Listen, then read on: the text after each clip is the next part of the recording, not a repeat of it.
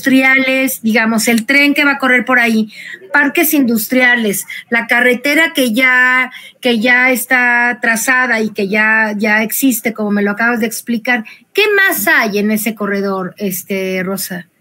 Bueno, mira, actualmente ahorita nosotros el año pasado avalamos 1.100 millones para todo lo que es reordenamiento territorial.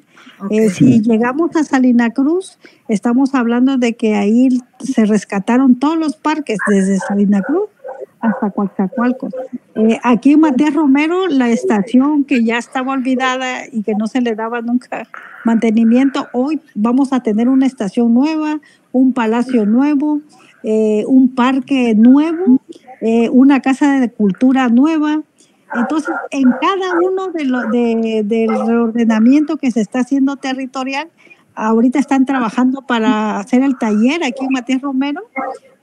Y si nos vamos, por ejemplo, a Iztaltepec, de igual forma nos vamos a, Ciudad, a Espinal, eh, se están haciendo parques deportivos para toda esta gente que va a llegar.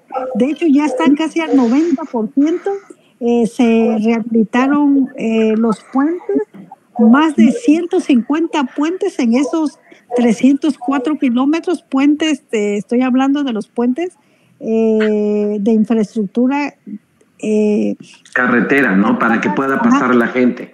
Exactamente. Y también, se, por ejemplo, en, en el Espinal se está haciendo, te digo, un campo deportivo, lo mismo en Tehuantepec. O sea, hay un, mucha inversión en el tema de embellecer cada uno de los municipios, darle servicio de, ya ves que todo lo que abarca el reordenamiento territorial, que lo está, lo está haciendo SEDATU, eh, es precisamente lo que es drenaje, vivienda, hospital, eh, escuelas, todo, todo. O sea, es un proyecto grande, inmenso, de que, o sea, mucha gente a lo mejor no dimensiona todo ese potencial que tenemos aquí.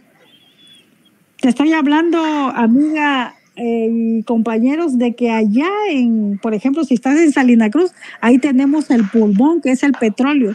Si bajamos en esta región donde se mueve todo el comercio, Juchitán, luego tenemos a la zona mareña, eh, de ahí a los Chimalapas, que más de 500 hectáreas de tierras productivas, eh, San Miguel y Santa María, que precisamente el año pasado lograron la controversia constitucional de hace 12 años que lo presentamos todavía cuando era yo diputada local y ahora se logra ganar, ya hay un convenio entre los dos gobernadores y ellos están a, están a favor de, este proyecto.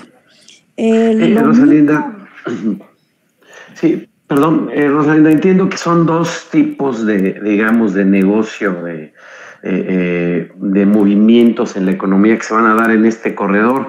Por un lado, la economía eh, nacional, la economía de México y el, como bien estás comentando, va a tener toda esta región o ya está teniendo, vaya, el, que puedan mover estas mercancías al exterior, por un lado, pero por otro también todas las mercancías que entre Europa y Asia se van a poder este, eh, transportar.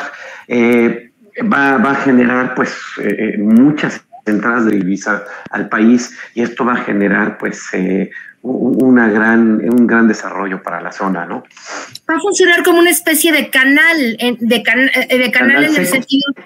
Exacto, canal seco, en el sentido que algo de lo que de lo que se pone en un lado se va a cruzar hacia el otro y puede ya transportarse sin tener que dar toda la vuelta, ¿no? Oye, pero pero eso ese ese negocio también para México esa esa transportación también implica un negocio, diputada? Claro que sí, porque pues aquí imagínate todas las embarcaciones que van a llegar, los trenes, todo ese combustible que se va a vender aquí en el istmo de Tehuantepec eh, anteriormente no se hacía porque no se tenía esas vías de comunicación. Hoy que ya se tienen, porque ya estamos a punto de concluir todo eso de tanto las carreteras, el tema del tren, de las vías que ya se cambiaron nuevecitas, eh, pues ya van a poder transportar, te digo, de 25 días que se hacían, por ejemplo, los del norte de Estados Unidos, ahora se va a reducir a 6 días. Imagínate todo el tiempo que van a reducir y pues es un costo, un ahorro impresionante, ¿no, diputada? Eh, eh, yo quisiera apuntar otra cosa.